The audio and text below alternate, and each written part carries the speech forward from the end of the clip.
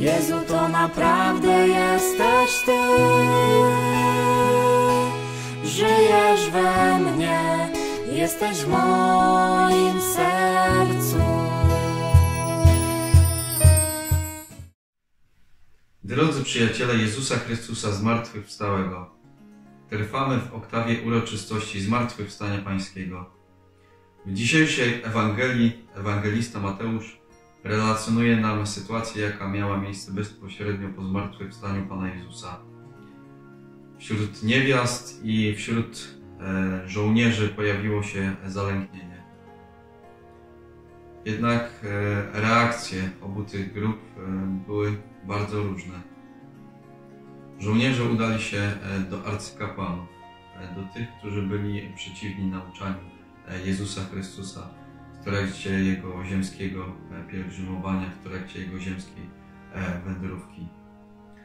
E, I ci żołnierze mm, przedkładają swoje mm, dobro ziemskie, dobro e, doczesne ponad to, co ma zadziać się w przyszłości, po zakończeniu tej ziemskiej pielgrzymki.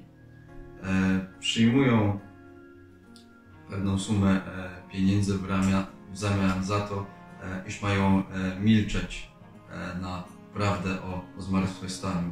Iż mają po prostu skłamać, że mm, oni w tym momencie, mm, kiedy Jezus Chrystus opuścił swój grób, oni wtedy spali. I oni poddają się e, temu e, swojemu zalęknieniu, mm, nie poszli za prawdą. Niewiasty e, po rozmowie z aniołem także odczuwają lęk. Lęk pewnie bardziej e, z tego, że to zmartwychwstanie było dla tych niewiast czymś bardzo niezwykłym.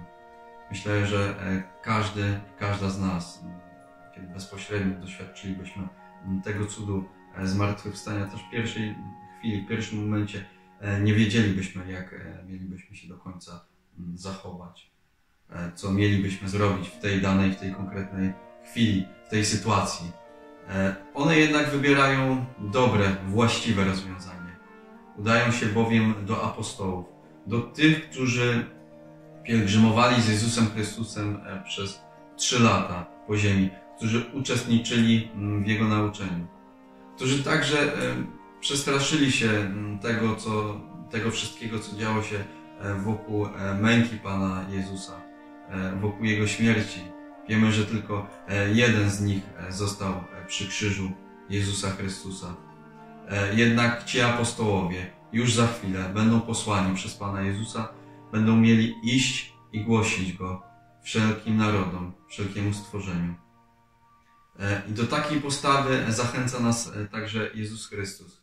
Chce, żeby każdy z nas głosił orędzie o Jego zmartwychwstaniu. Orędzie o Jego, radość, Jego radosnej, dobrej nowinie. Tymczasem mm, godną zauważenia, mm, bardzo dobrą jest też tutaj e, postawa, jaką wskazuje nam e, Jezus Chrystus w związku e, ze schematem, jaki panował w ówczesnym mm, kręgu żydowskim. Niewiasty były osobami, z którymi, z których zdaniem nikt właściwie się nie liczył.